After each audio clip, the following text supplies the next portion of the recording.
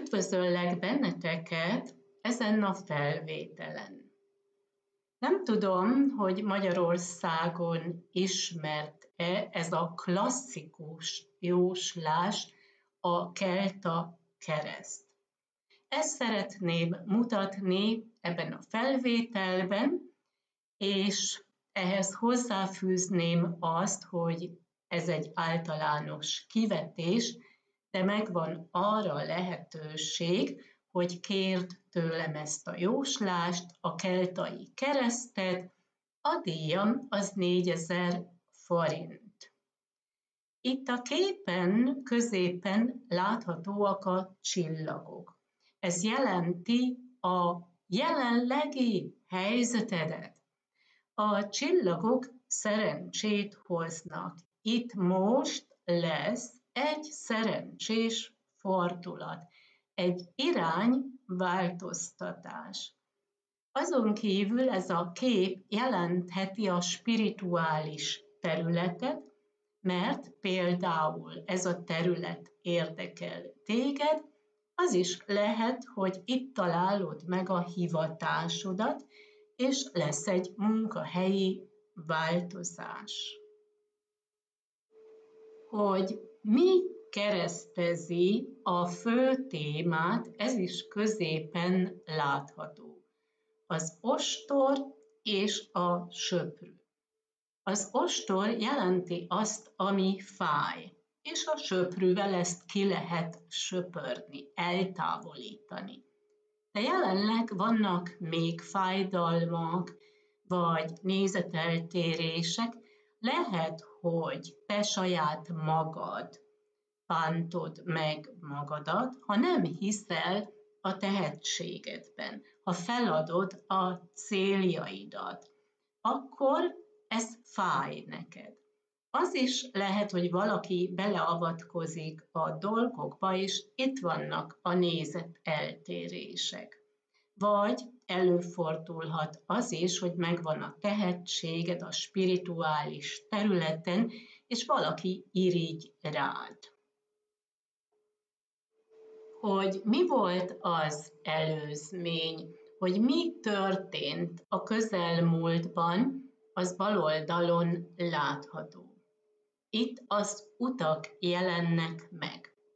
Vagy ez a te életutad, a spirituális terület, és ezt mindig érezted. Akkor is, ha vannak még bizonytalanságok, vagy valaki be akar befolyásolni téged, és rossz útra akar terelni, mégis legyen meg a hited, hogy jó úton haladsz. Az utak jelentik a döntéseket is. Ez lehet a hivatásod, mint például ez a spirituális terület. De lehet egy lakhelyváltozás is, vagy változnak a dolgok a párkapcsolatot illetően. Tehát itt már volt egy új irány, voltak már a múltban is döntések. Most megnézzük a te gondolataidat, és itt megjelenik a medve, ami felül látható. Ez jelentheti a te életerődet, hogy tudod azt, hogy ezúttal bebizonyítod magadat, sőt, tudod védeni magadat is. Amit ez a medve még jelenthet, ez egy személy, akinek szava van, ez lehet az apukád, a főnököd vagy főnöknőd, egy bírósági ügynél lehet a bíró is. Valaki előír számodra valamit, vagy parancsolgat neked, és ebben a helyzetben is meg kell védeni magadat, ki kell mutatni az erődet és ez a téma megjelenik a gondolataidban, hiszen ez foglalkoztat téged. Most bepillantunk a te érzelmi világodba, és erre megadja a választ az alul látható kártya, a bagoly madarak. ezek jelentik az éjszakát. És ha éjszakáról van szó, akkor bizony utal álmokra is. Lehet, hogy álmodsz valamit, és ennek van egy jelentősége. Amit a bagoly madarak még jelentenek, ez a bölcsesség. Hallgass az érzelmeidre, hallgass az intuíciódra, és akkor okos, bölcs döntéseket fogsz hozni. Az is lehet, hogy az esti órákban gondol valaki rád, vagy álmodik rólad, és hamarosan keresi veled a kapcsolatot, hiszen szüksége van a tanácsodra. Ami a változásokat, ami a közeljövőt illeti, az középen látható, mégpedig a hajó. És ez a hajó szimbolizálja a reményt. A remény megvan arra, hogy okos döntéseket hozol, lesz egy új irány, valaki ott van a közeledben, segít neked, útban van hozzád, és a csillagok szerencsét fognak hozni. Lesz egy új irány, lesznek változások. Amit a hajó még jelent, ez egy utazás, vagy külföldi kapcsolatok. Ezek lehetnek internet kapcsolatok is.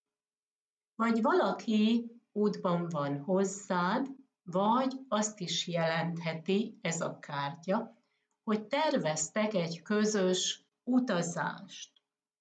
Ez az utazás, ez lehet egy belső út is, egy spirituális terület, vagy egy lelki kapcsolat kettőtök között. Hogy hogyan állsz a dolgokhoz, milyen lesz ez a kezdet, milyen lépéseket fogsz tenni annak érdekében, hogy elérd a céljaidat, az alul jobb oldalon látható és a gólyák jelentik a változásokat. Te tudod, érzed, hogy itt lesz egy új irány, lesznek változások. Ez lehet egy munkahelyi változás, ez lehet egy költözködés, vagy változik a hozzáállásod, vagy változik valami a párkapcsolatot illetően. Az is lehet, hogy ő költözködik, vagy az ő hozzáállása változik meg. A külső befolyásokat a ravasz róka mutatja jobb oldalon. A második kártya alulról tekintve. Lehet, hogy valaki figyelget téged, és megpróbál rossz irányba terelni. Például, ha vannak terveid, vagy szeretnél egy spirituális területen dolgozni, akkor előfordulhat, hogy valaki a környezetedben azt mondja, felejtsd el, ebből úgy sem lesz semmi. Ez kihathat a párkapcsolatra is, ha valaki azt mondja például, hogy ő úgysem jelentkezik, nem jön hozzád, ebből úgysem lesz semmi. Tehát légy óvatos, mert valaki tudatosan rossz irányba terel téged. Azt is jelentheti a ravasz róka, hogy van valaki a környezetedben, aki figyelget, aki irigy rád, aki rossz indulatú, tehát a változásoknál, vagy amikor beszámolsz a terveidről, légy kicsit óvatos. A következő kártya ott jobb oldalon a ravasz róka fölött mutatja az elvárásaidat, vagy a hitedet, hiszel abban, hogy eléred a céljaidat, igen vagy sem, hogy állsz a dolgokhoz, mi az elvárásod. Itt a horgony látható, és a horgony jelenti a biztonság érzetét, ahol le tudsz horgonyozni. Ez lehet a hivatásod, ez lehet a lakhelyed, ez lehet a biztonság érzete a párkapcsolatot illetően. A horgony nem csak a biztonság érzetét jelenti, ahol le lehet horgonyozni, hanem szimbolizálja a munkát és a hivatást is, és ez lehet egy spirituális terület, hiszen középen a csillagok láthatóak. Utalhat erre. Az is előfordulhat, hogy a ravasz róka, a hamis személy nem akarja azt, hogy legyen nálad egy munkahelyi változás, nem akarja azt, hogy sikereid legyenek. Az is lehet, hogy figyelget téged, tudni akarja, hogy mit, hogyan csinálsz, mik a terveid, és ellopja tőled az ötleteidet. A kártya ott felül jobb oldalon mutatja a kimenetelt, hova vezet mindez, eléred-e a céljaidat, mi várható a jövőt illetően, itt kéz a kézben vannak tevékenységek. Ez jelenti az összetartozást, ez jelenti a párkapcsolatot, de azt is jelentheti, hogy vannak barátságok, és segítenek neked. Ez a kéz a kézben jelenthet egy szerződést is, például egy munkahelyi szerződést.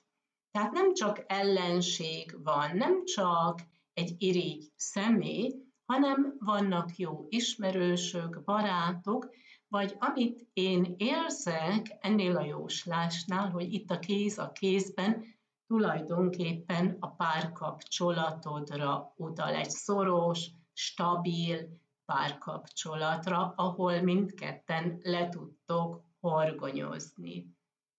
És ez volt a felvétel, Amennyiben tetszett ez a videó, örülnék annak, ha lájkolnád, vagy jelentkeznél a csatornámra, leírhatod a véleményedet a kommentárba, vagy keres meg a Facebook oldalon Dendera Medici, vagy Dendera Susanna Medici, ahol naponta megjelenik a Maja naptár. És én kívánok egy szép napot, nagyon sok szeretettel, Dendera!